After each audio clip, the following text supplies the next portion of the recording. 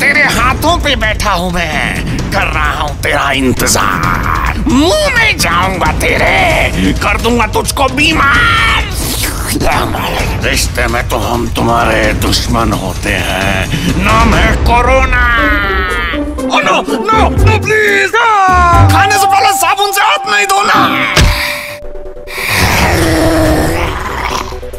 अभी मैं इसके हाथों में हूँ। अभी अपने दोस्त से हाथ मिलाएगा।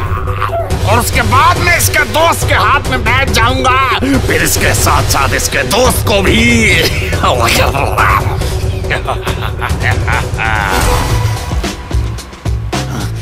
अरे ये क्या हो रहा है? नमस्ते नहीं करनी थी। हाथ मिलाना था।